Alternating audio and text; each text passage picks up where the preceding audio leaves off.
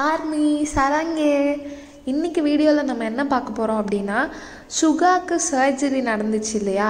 அதை பற்றி தான் என்னன்னு பார்க்க போகிறோம் ஏன்னா நிறைய பேர் கேட்டிருந்தீங்க அக்கா சுகாவோட சர்ஜரி பற்றி சொல்லுங்கள் என்னாச்சு? ஏன் சர்ஜரி அதெல்லாம். அதெல்லாம் தான் நான் இந்த வீடியோவில் இப்போ சொல்ல போகிறேன் இப்போ வந்து நான் ஒரு சோகமான கதை தான் சொல்ல போகிறேன் நம்ம எல்லாரும் டைம் ட்ராவல் பண்ணி டூ தௌசண்ட் டுவெல்லுக்கு போக போகிறோம் ஏன்னா அந்த இயர் வந்து சுகாக்கு one of the most tragic year அப்படின்னு வச்சுக்கலாம். ஏன் one of the most tragic அப்படின்னு சொல்கிறேன்னா அதுக்கு முன்னாடியே நிறைய கஷ்டங்கள் பார்த்து தான் சுகா வந்திருக்காங்க. டூ தௌசண்ட் டுவெல் வந்து லைஃப் ஆர் டெத் அப்படிங்கிற மொமெண்ட் மாதிரி. ஏன்னா டூ தௌசண்ட் டென்லேயே வந்து பிடிஎஸ் ரெக்ரூட் பண்ணிட்டாங்க. ஆனால் பிடிஎஸ் டெபியூட் பண்ணது வந்து டூ தௌசண்ட் தேர்ட்டீனில் தான். ஸோ அப்போ வந்து ட்ரெயினியாக இருந்த பீரியட் டூ தௌசண்ட் டுவெல் வந்து பிக் ஹிட்டில் சுகா வந்து ட்ரைனியாக இருக்கும்போது கூட டெலிவரி பாயாக வந்து பார்ட் டைம் ஜாப் பார்த்துருக்காங்க. அப்படி வந்து ஒரு டைம் டெலிவரி பண்ண போகும்போது அவரோட மோட்டார் சைக்கிளில் போயிட்டுருக்கப்ப கார் வந்து கிராஷ் ஆகி ஆக்சிடெண்ட் ஆயிடுச்சு. அந்த ஆக்சிடெண்ட்டில் தான் வந்து சுகாக்கு வந்து ஷோல்டரில் இன்ஜுரி நடந்துச்சு ஆனால் சுகா வந்து அவ்வளோ பெரிய இன்ஜுரி ஆன பின்னாடி கூட கம்பெனியில் வந்து சொல்லலையாம்மா இந்த மாதிரி எனக்கு ஷோல்டரில் அடிபட்டுருச்சு அந்த மாதிரி. ஏன்னா வந்து பயந்துட்டாராம்மா. ஒருவேளை நம்ம சொல்லிட்டா நம்மளை வந்து டெபியூட் பண்ண விடாமல் தடுத்துருவாங்களோ அப்படின்ற பயத்தில் அந்த உண்மையை மறைச்சிருக்காரு ஆரம்பத்தில். அண்ட் ஆக்சிடெண்ட் ஆனப்போ வந்து கண்ணை மூடி திறக்கும்போது செமையாக பயந்துட்டாரா. நம்ம செத்துட்டோமோ அப்படின்னு நினச்சாராம்மா. அந்தளவுக்கு ஒரு மோசமான ஆக்சிடெண்ட் ஆட்டிருக்கு. அதுக்கப்புறம் லேட்டராக சொன்னதுக்கப்புறம் இந்த மாதிரி எனக்கு ஆக்சிடெண்ட் ஆச்சு அப்படின்னு பிக் ஹீட்டில் சொன்னப்போ அவங்களே வந்து சுகாக்கு வந்து நிறைய ஹெல்ப் பண்ணியிருக்காங்க. ஸோ பங்க் பிடி பற்றி நமக்கு எல்லாருக்கும் தெரியும். அவர் கொஞ்சம் நல்லவர் தான். ஸோ அப்படி அந்த டூ தௌசண்ட் டுவெலில் நடந்த அந்த ஷோல்டர் இன்ஜூரிக்கு வந்து அப்போவே சர்ஜரி பண்ணாமல் ஒரு டெம்பரரி சொல்யூஷன் மாதிரி பெயின் கில்லர் போட்டுக்கிறது. அந்த மாதிரியே ப இதுதான் பண்ணியிருக்காரு. ஏன்னா சர்ஜரி பண்ணால் கம்ப்ளீட்டாக ரெஸ்ட் எடுக்கணும். அப்போ வந்து பெர்ஃபார்ம் பண்ண முடியாது ஸ்டேஜில் வந்து.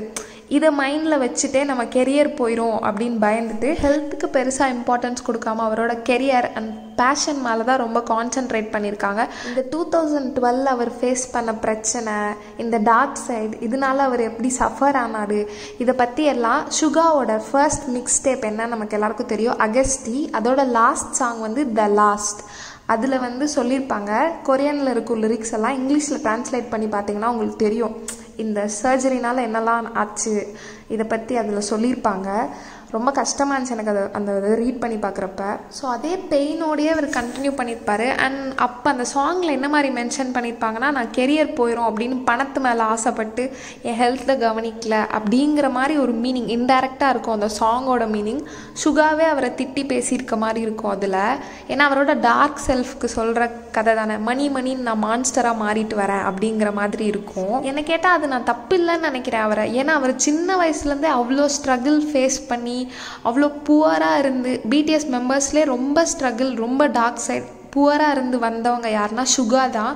ஸோ அவ்வளோ கஷ்டப்பட்டவங்க இப்போ இந்த ஷோல்டர் இன்ஜுரினால நம்ம டெபியூட் பண்ணாமல் போயிடுமோ நம்ம டேலண்ட்டை வெளிக்கொண்டு வர முடியாமல் போயிடுமோ அண்ட் மணி அப்படின்னு மணி வந்து ஒரு எசென்ஷியல் வேணும்னு நினைக்கிறது தப்பு இல்லை ஸோ அவர் வந்து அந்த இன்ஜுரியை மறைச்சிட்டு அந்த ஹெல்த்தில் கான்சென்ட்ரேட் பண்ணாமல் பண்ணியிருக்கணும். பட் அப்போ அவர் இருந்த சூழ்நிலைக்கு அவர் அந்த மாதிரி நினச்சது வந்து தப்பே இல்லைன்னு தான் நான் சொல்லுவேன்.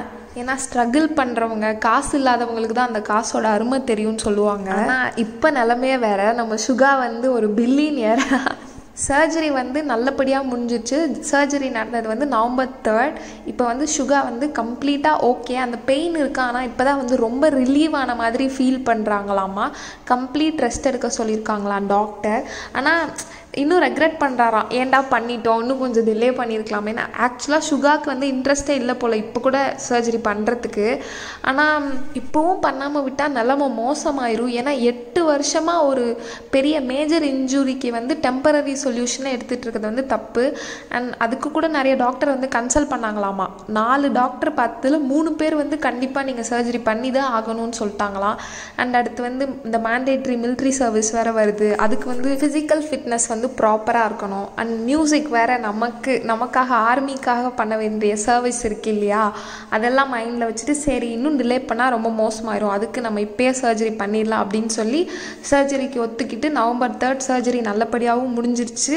ஆர்மி உங்கள் எல்லாரையும் மிஸ் பண்ணுவேன் அப்படின்னு சொல்லிட்டு ஒரு அப்டேட் மாதிரி சுகா வந்து அப்டேட் கொடுத்துருந்தாங்க. அண்ட் சாரி வேற கேட்டிருந்தாங்க Suga. Don't have to be sorry என்னை கேட்டால் ஏன்னா அது வந்து பர்சனல் ஹெல்த் தானே. இதில் என்ன நம்ம அவங்க ப்ரைவசி இதெல்லாம் அதில் நம்ம இன்வால்வ் ஆக முடியாது.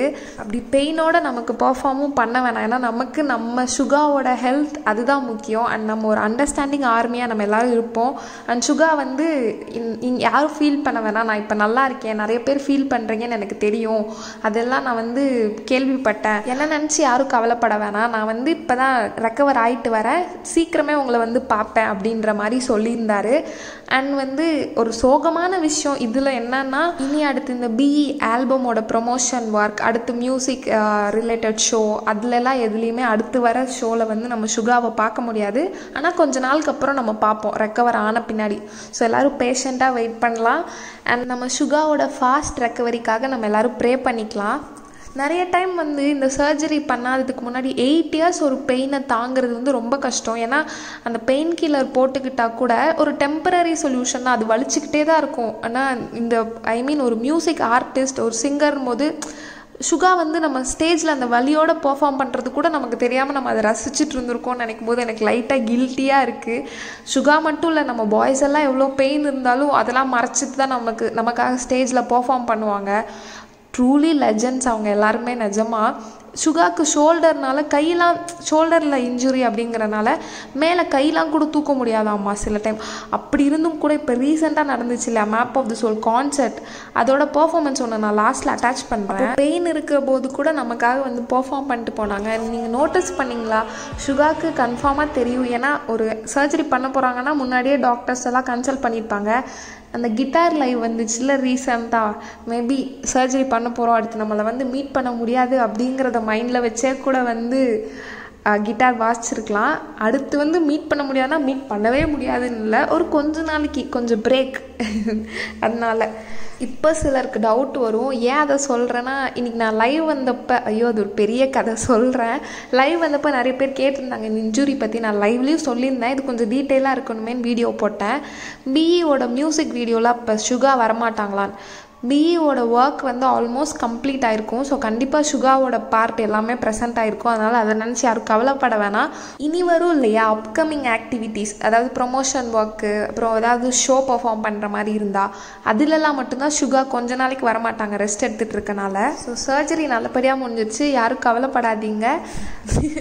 ஓகே இன்றைக்கி நான் லைவ் அந்த கதையை சொல்கிறேன் ஆக்சுவலாக இன்றைக்கி நம்ம சேனலோட முதல் லைவ் ஆனால் ஒரு ஆக்சிடென்டல் லைவ் அப்படின்னு தான் சொல்லணும். ஏன்னா நான் இன்றைக்கி வரணும் அப்படின்னே பிளான் பண்ணல.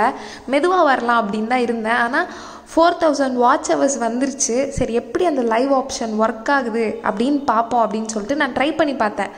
ஏதோ வந்துச்சா? எங்கள் வீட்டில் வேற கத்திட்டே இருந்தாங்க. சாப்பிடவா சாப்பிடவான்னு. சரின்னு அப்படியே போட்டுட்டு நான் சாப்பிட போயிட்டேன். போயிட்டு நான் அப்புறம் வந்து இது பார்த்துக்குவோம் அப்படின்னு விட்டுட்டேன். பார்த்தா ஒன் ஆஃப் அவர் ஆர்மி புள்ளிங்கோ. ரஞ்சினி வந்து எனக்கு மெசேஜ் அனுப்பிச்சிட்டா அக்கா வாங்க சீக்கிரம். என்ன பண்ணுறீங்க மொட்டையாக அப்படி ஒரு மெசேஜ் வரும். என்னடா வாங்க சீக்கிரம்னு கூப்பிட்றா? எனக்கு புரியவே இல்லை. எங்கடானே அக்கா லைவ் வெயிட் பண்ணிகிட்டு இருக்கோம் அங்கே எல்லாரும். ஒன்று எனக்கு உயிரே போச்சு. ஐயோ நம்ம பாட்டுக்கு ஆனில் வச்சுட்டு வந்துட்டோம் போல் அப்படின்னு அப்போ தான் அந்த ஸ்க்ரீன் ஓப்பன் பண்ணேன். யூடியூப் ஸ்க்ரீன் பார்த்தா one thirty five members waiting அப்படின்னு வந்துச்சு. ஐயோயோ போச்சுடா சாமி என்ன பண்ணுறதுனே தெரில அதுக்கப்புறம் அப்படியே லைவ் வந்து அப்படியே பேசிட்டேன். இது ஒரு ஆக்சிடென்டல் லைவ் தான். நெக்ஸ்ட் டைம் லைவ் வரும்போது ஏன்னா நிறைய பேர் மிஸ் பண்ணிட்டேன் அப்படின்னு மெசேஜ் பண்ணீங்க. சாரிலாம் கேட்டிருந்தீங்க. சாரிலாம் கேட்காதீங்க. இது ஏன் தப்பு தான் நான் சொல்லிட்டு வந்திருக்கணும். நெக்ஸ்ட் டைம் வரும்போது நான் ப்ராப்பராக டைமு எல்லாம் மென்ஷன் பண்ணிவிட்டு லைவ் வரேன். நான் வீடியோ எடுத்து போடுறதுலேயே வளருவேன் இதில் லைவ் வேறு அதுவும் திடுதிடுப்புன்னு வந்த லைவாக செம்மையாக வளரி தள்ளிட்டேன். ஐயோ பேனு அண்ட் இந்த லைவில் வந்து நிறைய பேரோட கொஷினுக்கு என்னால் ஆன்சர் பண்ண முடியாமல் போச்சுன்னா டப டப டபன்னு எல்லா கமெண்ட்டும் ஓடிருச்சு. அப்படி யாரோட கமெண்ட்டாவது மிஸ் பண்ணியிருந்தேன்னா நான் இன்டென்ஷனலாக மிஸ் பண்ணலை. அந்த கமெண்ட்டில் போனதில் என்னால் கவனிக்க முடியல. அதனால தான் ஐம் வெரி சாரி நெக்ஸ்ட் ஒரு நல்ல லைவில் நம்ம எல்லாருமே மீட் பண்ணுவோம். அண்ட் ஃபேஸ் காமிங் அக்கா அப்படின்னு கேட்டிருந்தீங்க. எனக்கு காமிக்கிறதுல ஒரு பிரச்சனையும் இல்லை. இன்ஸ்டாகிராம் லைவ் வந்தால் கண்டிப்பாக ஃபேஸ் காட்டுறேன். யூடியூப் வந்து எல்லாருமே பார்ப்பாங்களா? எங்கள் வீட்டில் கொஞ்சம் ஸ்ட்ரிக்ட்டு அதனால தான் ஆனால் கண்டிப்பாக ஒரு நாள் ஃபேஸ் காமிக்கிறேன் யூடியூப்பில் ஆனால் நீங்கள் இன்ஸ்டாகிராமில் என்னை ஃபாலோ பண்ணிங்கன்னா இன்ஸ்டாகிராம் லைவ் சீக்கிரமே வரேன். அதில் நான் கண்டிப்பாக மூஞ்சி காட்டுவேன். ஒரு பிரச்சனையும் இல்லை. ஃபைனலி நம்ம வீடியோவோட எண்டுக்கு வந்துட்டோம். வீடியோ எவ்வளோ தூரம் பார்த்துருந்தீங்கன்னா கண்டிப்பாக சப்ஸ்கிரைப் பண்ணணும். இல்லைன்னா நான் அடிப்பேன்ப்பா. Just kidding bye love you all thank you so much every one for your constant support bye tata love you